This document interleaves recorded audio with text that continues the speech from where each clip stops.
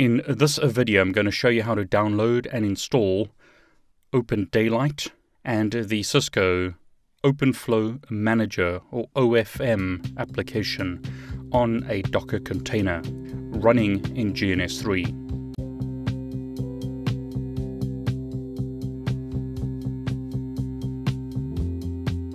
So Ubuntu 1 in this topology is going to have ODL and OFM installed on it. I'll then demonstrate how you can configure Open vSwitch switches running in GNS3 to communicate with uh, the Open Daylight controller and write flows to the switches. The OpenFlow Manager application is available on GitHub. The instructions, however, for the installation of this application are not clear, and hence I'm going to show you how to download and install the application, integrate OpenFlow switches with uh, the application to allow you to write flows to the switches. In this example, the OpenFlow Manager application is installed on the same Docker container as Open Daylight and will use the REST-conf API to the controller to write flows to Open vSwitch switches using the OpenFlow protocol. This entire architecture is running within GNS3 I've connected the Ubuntu container to a Cisco switch, which in turn is connected to a NAT cloud to give me internet access in this topology. I've also got a second Ubuntu host which I'll use to SSH to the controller to start the OpenFlow Manager application. Ubuntu 3 and Ubuntu 4 are connected to Open vSwitch switches and I'll use them for testing OpenFlow rules. One of the strengths of GNS3 is the amazing community that GNS3 has. One of the community members that makes a huge contribution is Andrew Coleman. Andrew not only writes useful columns on GNS3, but is constantly helping people in the GNS3 community. So before we get started, I want to thank Andrew for his contribution to this video. Andrew has helped me tremendously with the installation process and when you get the chance, please thank Andrew for his contributions. It's people like Andrew that make uh, the GNS3 community what it is. So let's get started installing Open Daylight on Ubuntu 1 and then installing the OpenFlow Manager application. So here's Ubuntu 1. ifconfig eth0 shows us that the Ubuntu server has this IP address the reason why is I configured the Ubuntu server to use DHCP and it's received an IP address from the NAT cloud through the IOS V layer 2 switch. So as an example, I can ping google.com. So before you go any further, you need to ensure that you've received an IP address and have internet connectivity on the Ubuntu Docker container. Now you don't have to use a Docker container, you could use a virtual machine. So if you prefer using a virtual machine in VirtualBox or VMware Workstation, then feel free to use that. The first thing we need to do is type apt-get update. Now I've listed the commands below this video. So if you want to, you can skip this installation process and just follow the steps below this video, but I will explain some options as we go along through the video. Now in this example, the internet speed through the Cisco switch and the NAT cloud is very slow. So what I'm going to do rather than that is bring an open vSwitch switch into the topology. And what I'll do is remove the link to the Ubuntu server and I'll remove the link to the NAT cloud. And what I'll do in this example is connect the Ubuntu container to the Open vSwitch switch, and in turn connect the Cisco switch to the Open vSwitch switch. This is not necessary, I'm just doing it to speed up the installation. I found that sometimes connections through a Cisco switch are a lot slower, so I'm going to run it through the Docker container. So ping google.com. Pings are succeeding. apt get update. So I'll use that for this installation. So apt get update has completed.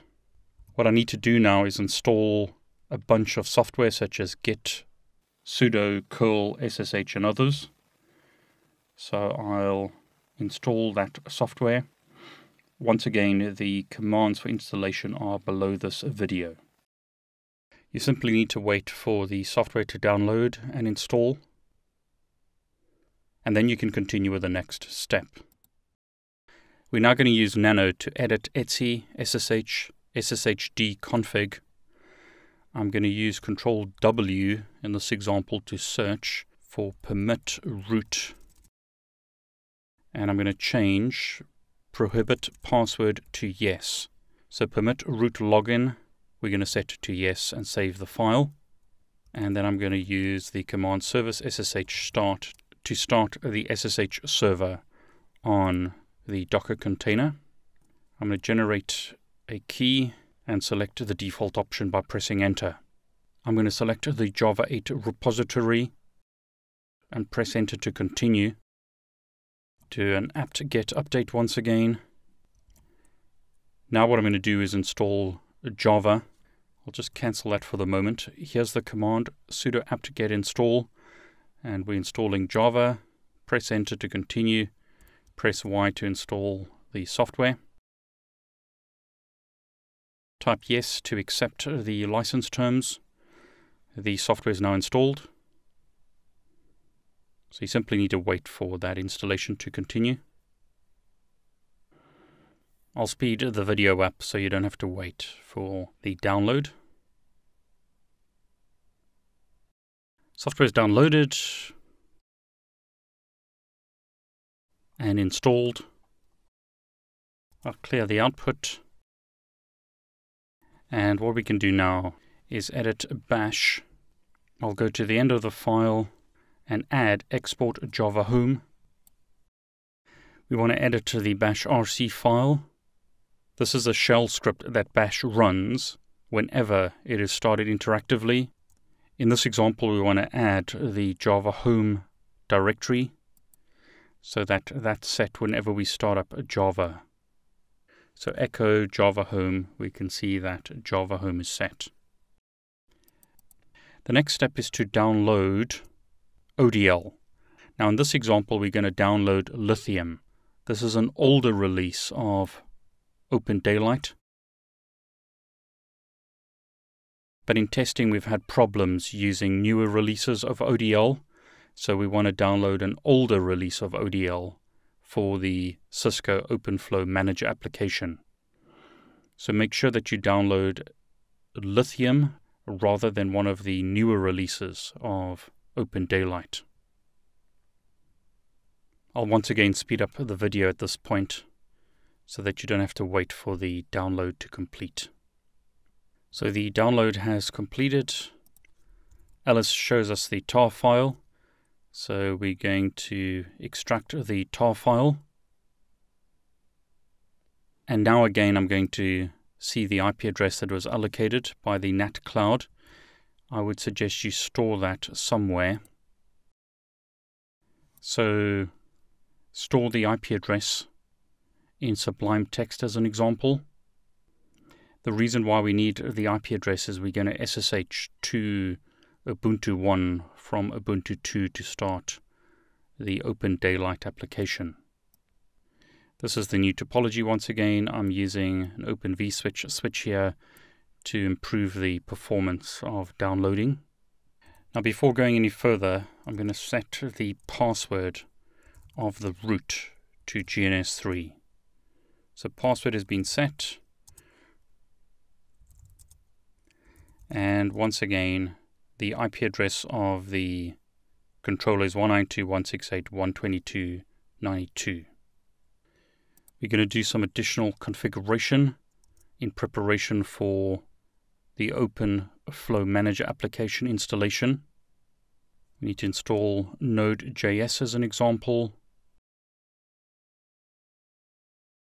And then we're going to use git to clone the Open Daylight OpenFlow app from GitHub.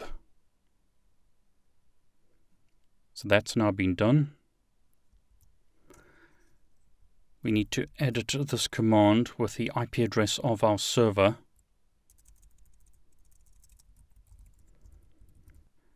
So this is the IP address of the server that we're currently using.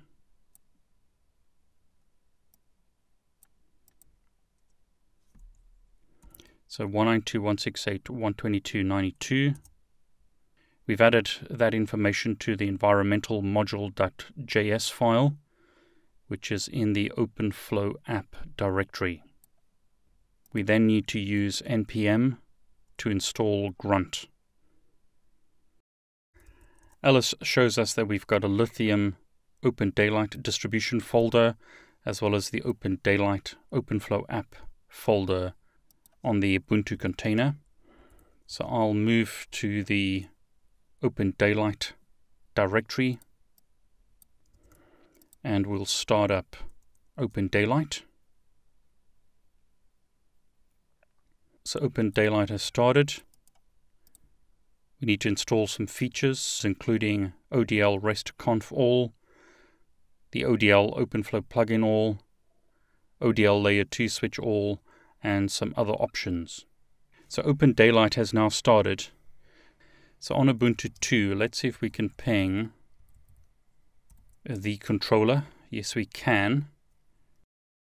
So what I'll do is SSH to the controller and log in. So I'm currently on Ubuntu 1 on the Open Daylight controller. ls shows me the directories in this case, I'm going to move to the Open Daylight OpenFlow app directory. And in here, we're going to start Grunt.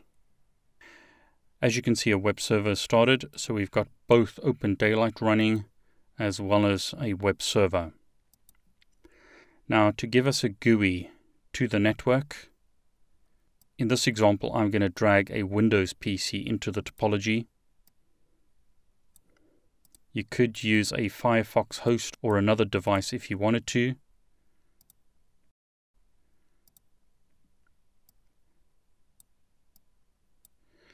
But in this example, I'll simply use a Windows PC and I'll start that PC up. Hope you enjoyed this video. If you did, please like it and please subscribe to my YouTube channel. I wish you all the very best.